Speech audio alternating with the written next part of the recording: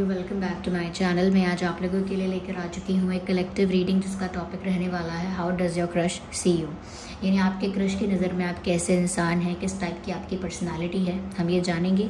Reading general है collective है, हो सकता है कि आपकी सिचुएशन के साथ एक्यूरेटली रेजोनेट करे। हो सकता है सिर्फ़ कुछ परसेंट रेजोनेट करे तो ओपन माइंडेड होकर सुनिएगा। और ज़बरदस्ती अपने आप को रीडिंग में फिट इन मत कीजिएगा। जितना आपके साथ रेजोनेट होता है, उतना ही एक्सेप्ट कीजिए। एंड लीव द रेस्ट ये रीडिंग सभी जोडियक साइंस के लिए है, हर उम्र के व्यक्ति के लिए है टाइमलेस है ओके स्टार्ट करते हैं. Without wasting any more time देखते हैं कि आपके क्रश की नज़र में आप कैसे इंसान हैं. How do they see you okay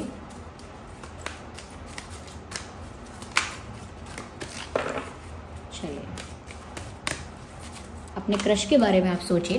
लेकिन ऑफ़ कोर्स क्रश कोई ऐसा ही होना चाहिए जिसको आपकी एग्जिस्टेंस के बारे में पता हो जिसे एटलीस्ट आपका नाम तो पता हो यू you नो know, ऐसा कोई सेलिब्रिटी क्रश या कोई इमेजिनरी क्रश या कोई ऐसा क्रश के बारे में ये रीडिंग एप्लीकेबल नहीं होगी। Okay so do to value first card we have okay healer of the ages beautiful अगर वो आपको ऐसा समझते हैं इस टाइप का पर्सन समझते हैं, viewers then you want in life okay, i just need one card. Okay, so here we have the तो यहाँ वी हैव थ्री कार्ड सबसे पहले हम इन कार्ड्स को एक्सप्लेन करते हैं, उसके बाद क्लैरिफाई भी करेंगे. ओके सबसे पहले व्यूअर्स आपके क्रश को ऐसा लगता है, जो सबसे ब्यूटीफुल यहाँ पर मैसेज है, वो मैं सबसे पहले देना चाहूँगी. कि आपके क्रश की नज़र में जितना भी उन्होंने आपको ऑब्ज़र्व किया है, जितना भी जान पाए हैं thirty forty twenty ten percent उनको ऐसा लगता है कि आपके अंदर जो क्वालिटी है और जो एनर्जी है, वो एक हीलर की एनर्जी है। You are born healer you are born empath एक इम्पैथ की आपकी वाइब्रेशन है, एक इम्पैथ की आपकी एनर्जी है। इसका मतलब ये है व्यूवर्स कि कहीं ना कहीं आप दूसरों के दुख को ना केवल समझ सकते हैं, उसे हील करने की भी ताकत रखते हैं। उसको उसको हील करने की भी क्षमता आप कैपेसिटी आप रखते हैं। और ऐसा नहीं है कि ये किसी प्रैक्टिस से आपने सीखा है, या किसी प्रार्थना और प्रेयर से आपने मांगा है। No it is in born in you ये आपके अंदर पहले से ही है, जन्म के साथ है। आपके अंदर ये क्वालिटी कि कहीं ना कहीं आप एक ऐसे इंसान हैं जो बहुत ही जल्दी दूसरे के भाव को, दूसरे के दर्द को, दूसरे के इंटेंशन को सेंस कर सकते हैं फील कर सकते हैं।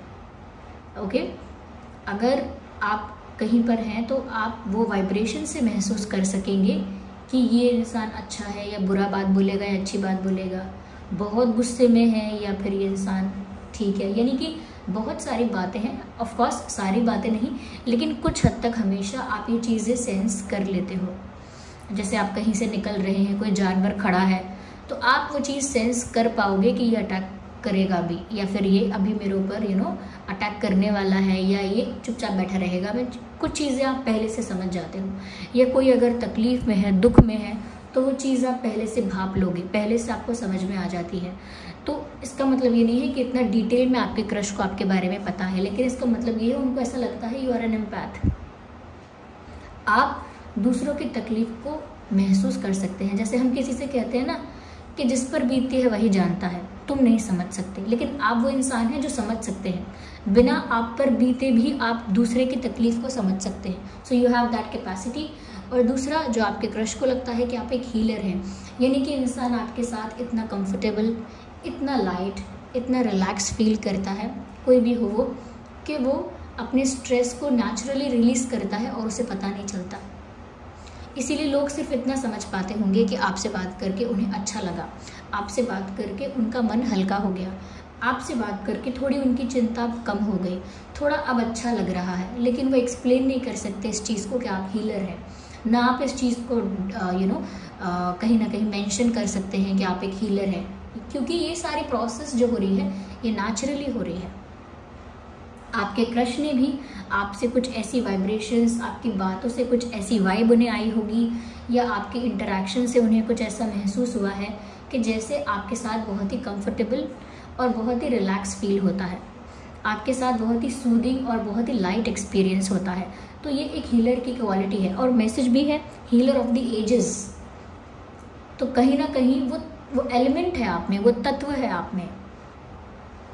ओके तो इसीलिए कभी कभी दूसरों की एनर्जी को फील कर पाना आपके लिए प्रॉब्लमेटिक भी हो जाता है या कहीं ना कहीं तकलीफ़ भी होती है उससे। यानी कि जब कभी भी आप कुछ सेंस कर पाते हैं पहले से, कोई घटना, कोई बात, कोई दुख की घड़ी आने वाली है, किसी का कोई लॉस होने वाला है, किसी की जान को हानि होने वाली, कुछ भी आप सपने में देखेंगे या आप सेंस करेंगे, कुछ भी आपको बैड फीलिंग आने लगेगी, कुछ ऐसा होने लगेगा आपको पहले से।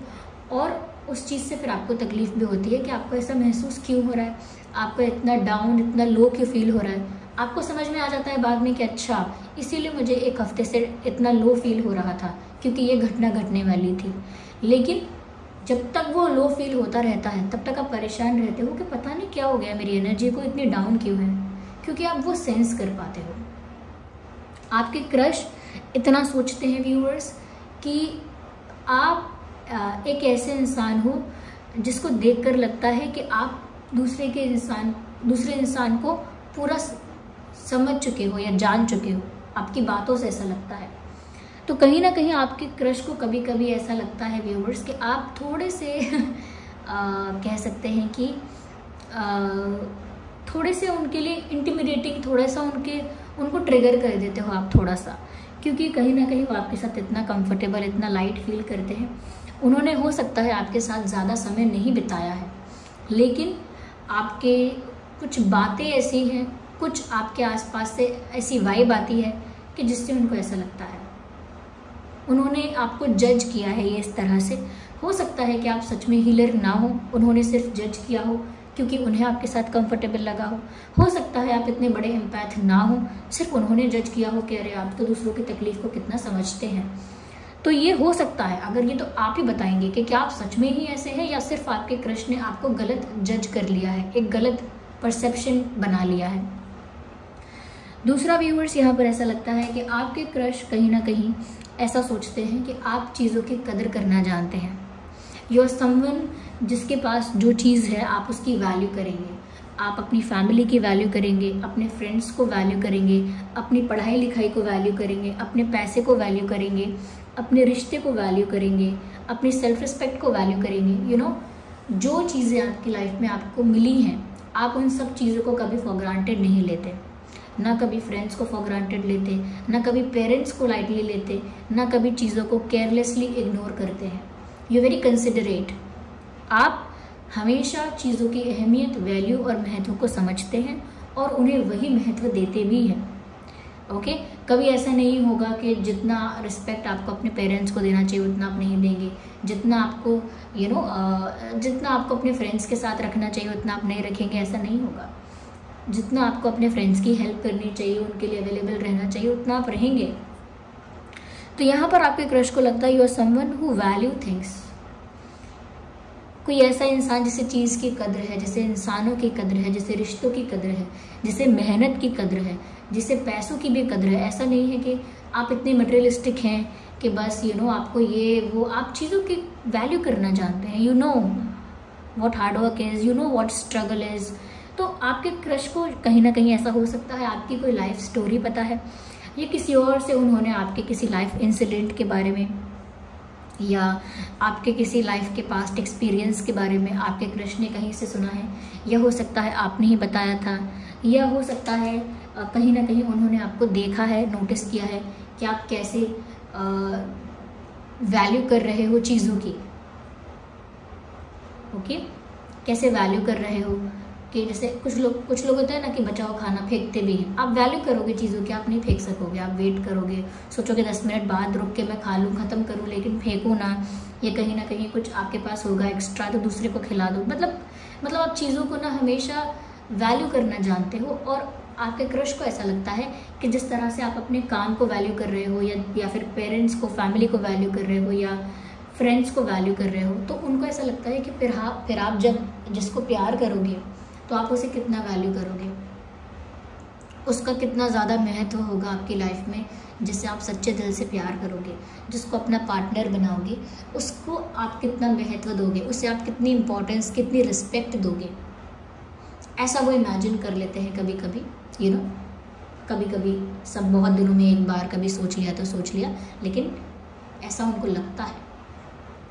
हो सकता है जितना डिटेल में मैंने आपके बारे में बताया हो उतना डिटेल में ना लगता हो, उसके आसपास लगता हो but that's what they think उनको ऐसा भी लगता है viewers you have patience because we have the card of patience ऐसे ही नहीं बोला है मैंने। यहाँ पर पेशेंस का कार्ड है। उन्हें ऐसा भी लगता है व्यूअर्स कि आपके अंदर बहुत धीरज, बहुत धैर्य है। आप एक इम्पेशेंट इंसान नहीं हैं, या फिर अगर आप इम्पेशेंट फील करते भी हैं तो भी आप अपने आप को संभाल कर पेशेंस रखना जानते हैं। कुछ लोग होते हैं, जब इम्पेशेंट फील करते हैं तो वो फिर धैर्य नहीं रख पाते वेट नहीं कर पाते। और हमेशा इम्पेशेंट होकर जल्दीबाजी में चीज़ें ख़राब करते हैं। जल्दबाजी में ज़्यादा उत्सुकता में, ज़्यादा यू नो कह सकते हैं एक्साइटमेंट में वो गड़बड़ कर देते हैं। लेकिन आप अगर इम्पेशेंट होते हैं तो उसे कंट्रोल करना जानते हैं। इसीलिए आपके अंदर बहुत पेशेंस है। आप बहुत चीज़ों को बहुत समय तक झेलेंगे, सहेंगे या फिर देखते रहेंगे। जब पानी आपके सर के ऊपर जाएगा, तब आप रिएक्ट करेंगे। बहुत टाइम तक आप पेशेंस रखते हैं। अगर आप किसी चीज़ के लिए हार्डवर्क कर रहे हैं तो उसका रिज़ल्ट आपको जल्दी मिले। ऐसी कोई ज़िद नहीं है आपकी। आप पेशेंस रखना जानते हैं। ओके अगर आपने किसी से कोई चीज़ एक्सपेक्ट की है तो आप पेशेंस रखना जानते हैं कि ये इंसान समय आने पे अपने आप करेगा। ओके? तो रिश्ते हैं, चाहे आपका करियर है, चाहे आपके फाइनेंसेस हैं, चाहे आपका प्यार है, आप पेशेंस रखना जानते हैं। इसीलिए तो आपके क्रश अभी आपके अगर पार्टनर नहीं बने हैं, या अभी आप दोनों का ऐसा कोई स्ट्रॉन्ग रिलेशनशिप अगर नहीं है अभी तो भी आपने पेशेंस रखा हुआ है। तो भी आपको चीज़ों की जल्दी नहीं है। तो भी आप किसी ऐसी जल्दबाजी में नहीं हो कि मुझे या तो ये पार्टनर मेरा मिल जाए या फिर मैं छोड़ो इसको, मैं कहीं और फिर यू नो किसी और को चूज़ करूँगा अपने लिए, किसी और को चूज़ करूँगी अपने लिए। You are not in that hurry आप इतनी जल्दी में नहीं हैं कि, अरे हाँ बोलते हो तो बोलो। ज़्यादा टाइम नहीं है मेरे पास you know I will look someone else I will go for someone else मैं किसी और को ढूंढूँगी, किसी और के पास जाता हूँ। ऐसा आप नहीं करोगे। इफ़ यू लाइक समवन आपके अंदर उतना पेशेंस है कि उस फ्रेंडशिप को, उस बॉन्ड को आप डेवलप होने दोगे। तो ये कुछ चीज़ें हैं जो उन्होंने नोटिस की हैं ऑब्ज़र्व की हैं, सुनी हैं या अपने आप मान ली हैं अज्यूम कर ली हैं। तो वो तो आप बताओगे कि एक्चुअल में आप ऐसे हो या फिर ये सिर्फ़ आपके क्रश की धारणा है। Okay let me see more into that वो I don't know what's wrong with my throat जो पुराने हमारे फैमिली मेंबर्स हैं, पुराने सब्सक्राइबर्स हैं दे मस्ट बी नो कि उनको पता ही होगा पहले से कि मेरा जो थ्रोट है, वो बहुत सेंसिटिव है। तो ये समझ लीजिए ट्वेल्व मंथ्स में से, बारह महीनों में से, बारह बारह महीनों में से, ये दस महीने तो ऐसे ही करता है। सो आई थिंक आपको भी इसकी आदत पड़ गई होगी। It won't get fixed okay get used to it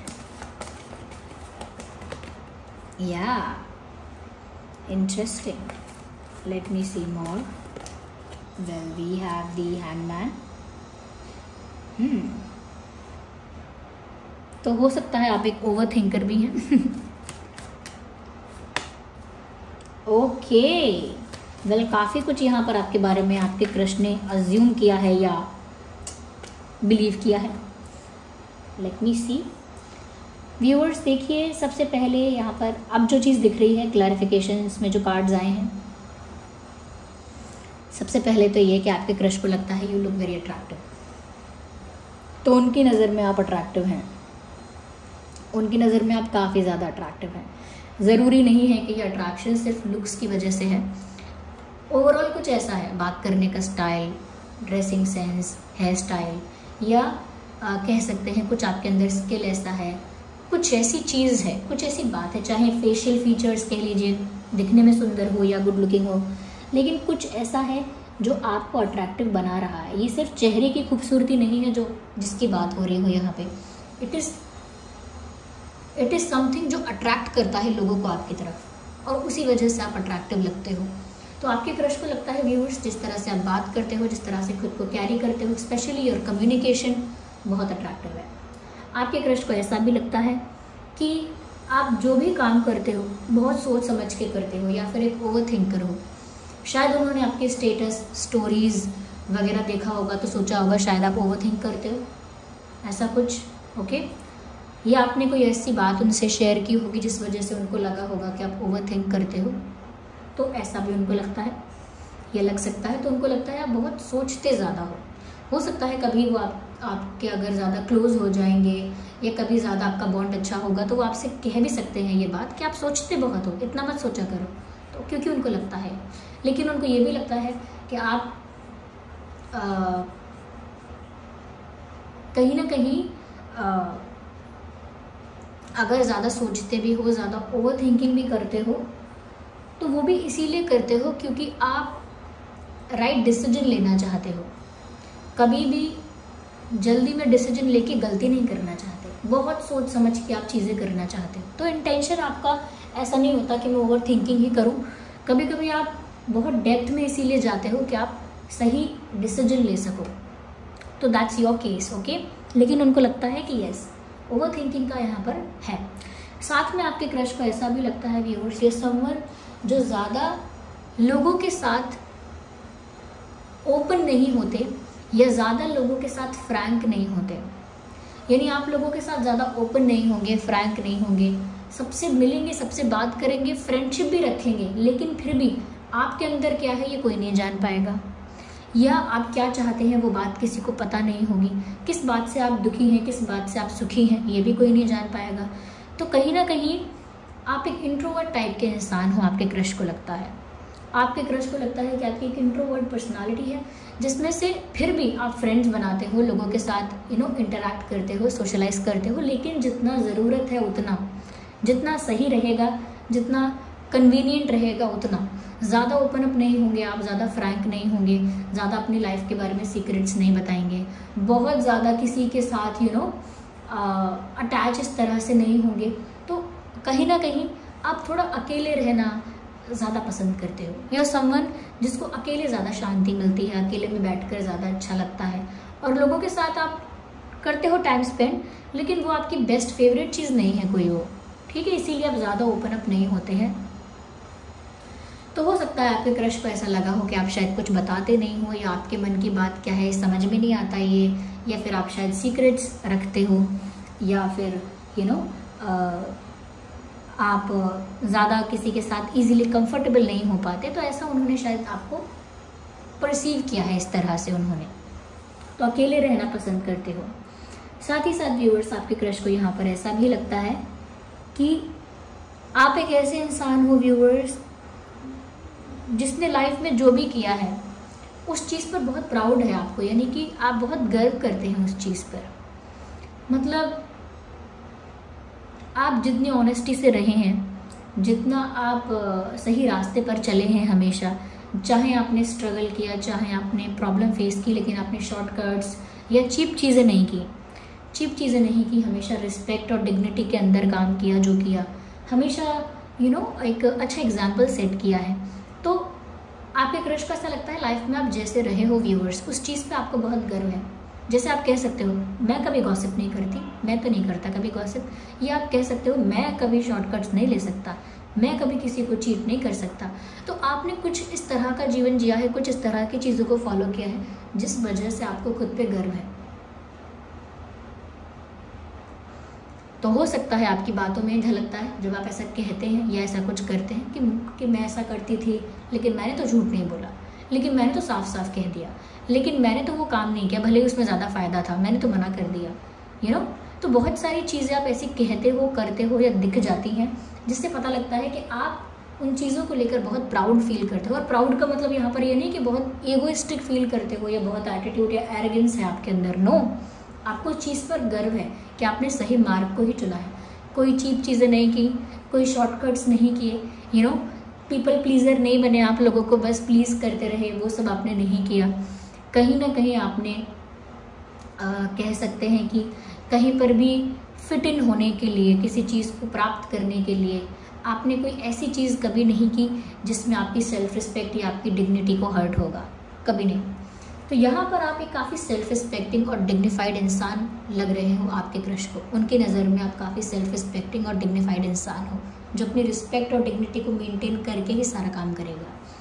So viewers yes this was the reading I hope ये रीडिंग आपके लिए हेल्पफुल और रिलेटेबल रही है। आप कमेंट करके बताइए कि एक्चुअल में आप ऐसे ही हैं जैसा आपके क्रश ने आपको परसीव किया है, या फिर आप ऐसे बिल्कुल नहीं हैं और ये सिर्फ़ उनकी धारणा है। ओके तो कमेंट कीजिए। चलिए मिलते हैं अगली रीडिंग में। वीडियो को लाइक कीजिए कमेंट कीजिए शेयर कीजिए सब्सक्राइब कीजिए। Bye take care love you all